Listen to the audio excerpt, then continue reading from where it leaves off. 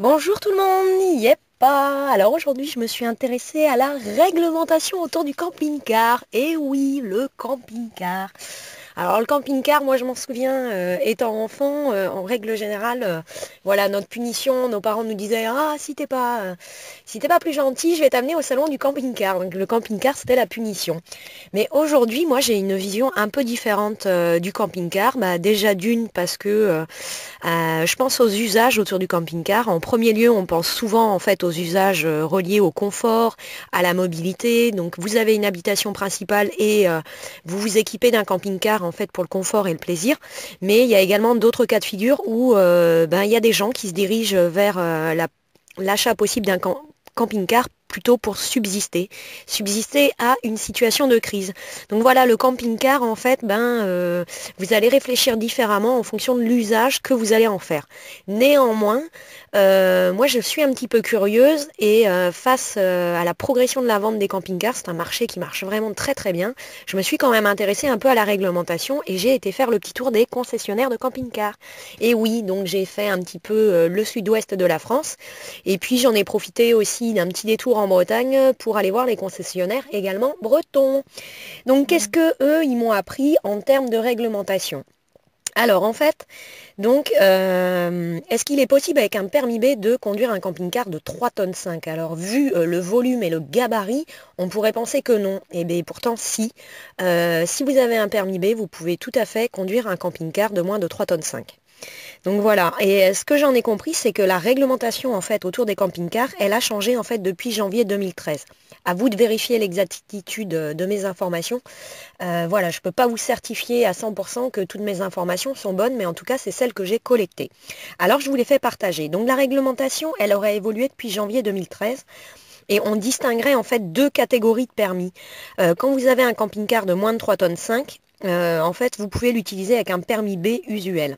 Par contre, dans le cas de figure euh, de l'utilisation de euh, camping-car de plus de 3 tonnes 5, en fait, on va vous demander un permis C1.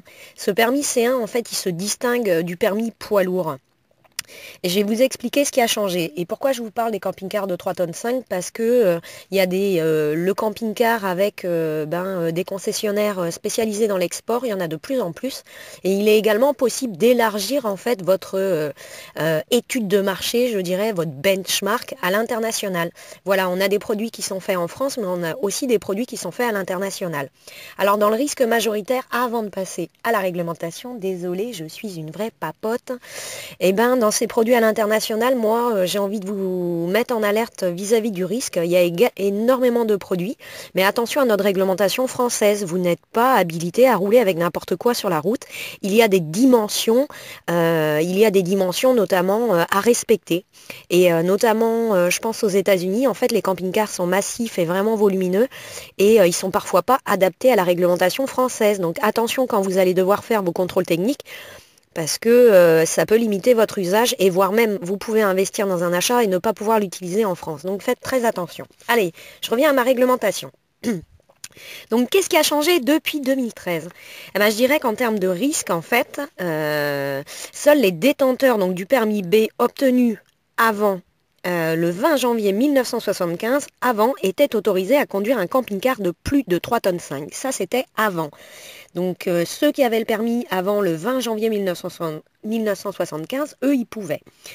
Alors, l'opportunité de changement de la réglementation en, janvier 2013, c'est que elle, elle vous permet en fait de conduire des véhicules dont euh, le, poids total à charge, le PTAC, il est compris entre 3 tonnes 5 et 7 tonnes 5. Donc euh, c'est énorme. Et en fait, ça, vous allez euh, pouvoir euh, conduire en fait ces engins avec un permis B, plus une petite formation complémentaire qui devra être validée. Alors, dans le cas d'une conduite d'un camping-car de plus de 3 tonnes 5, comme je vous l'ai dit, vous allez avoir besoin d'une formation préalable. Qu'est-ce que c'est cette formation? Mais ben, A priori, cette formation, elle est décomposée en fait en une épreuve pratique, théorique, théorique et une visite médicale. Cette visite médicale, vous devrez la renouveler tous les 5 ans. Puis euh, il faut faire attention également, c'est que euh, en fait en termes de cible des camping-cars ou d'usage, en fait les premiers à avoir un petit peu euh, développé ce, mouvement, on va dire ce mode de vie un peu nomades et libertaires, en fait, ben, c'est surtout nos seniors, en fait. Nos seniors, ils ont eu envie de liberté. Et j'ai envie de dire attention euh, aux seniors également, puisque euh, malheureusement, ces seniors, enfin malheureusement et heureusement pour euh, la sécurité de tous, mais les seniors, en fait, eux, ils seront soumis à une visite obligatoire, en fait, tous les deux ans s'ils ont plus de 61 ans. Donc l'objet de la modification de cette réglementation, euh, en fait apparemment elle avait pour but d'harmoniser les permis de conduire au niveau européen et euh, internationaux. Donc voilà, j'espère que cette petite brève présentation sur les réglementations vous aura précisé euh, quelques points, notamment sur le fait de est-ce que vous avez le droit de conduire ou pas des camping-cars de 3 tonnes 5, voire plus de 3 tonnes 5.